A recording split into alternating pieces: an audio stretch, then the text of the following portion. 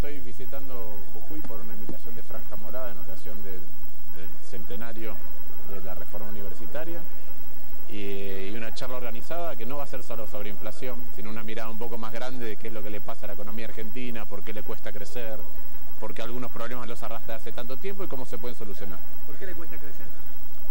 Pues, es para la charla, pero... Eh, nosotros tenemos tenemos un Estado que te cobra muchos impuestos, pero cada vez te da menos cosas. De hecho, tenemos un Estado que gasta tres veces más por cada argentino que hace 25 años.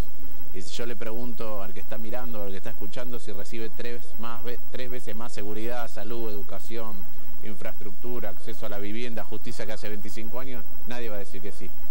Y lo que hay que enfocar como clase política, una discusión como sociedad, es qué cosas el Estado tiene que hacer que ha dejado de hacer, porque el Estado argentino fue el mejor Estado de Latinoamérica hasta la década del 60, y qué cosas está haciendo que no debería.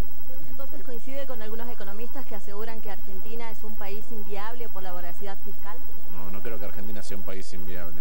Argentina es un país extraordinario, eso es lo que creo, y que los argentinos tenemos que convocarnos a discutir algunas cuestiones que van a destrabar el potencial que Argentina tiene de otra manera. Con respecto a la inflación, mucha gente se queja por eso. ¿Qué es lo que se tendría que hacer?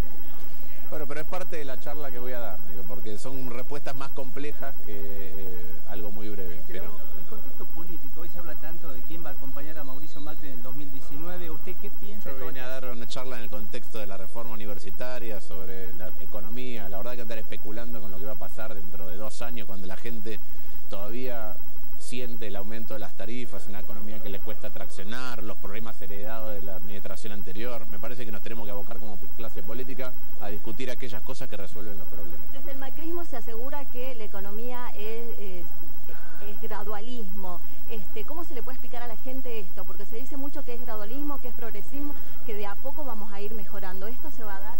Bueno, yo voy a, voy a presentar una visión distinta a eso ahora en la charla.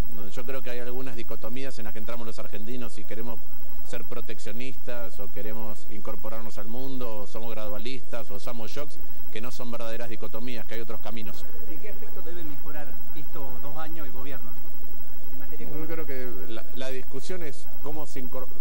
cómo abordamos las cuestiones de manera más integral de ordenar a la Argentina entre todos. Cuando alguien eh, en lugar de dar una discusión más amplia con otros sectores políticos que están dispuestos a colaborar, no convoca, las cosas son más difíciles.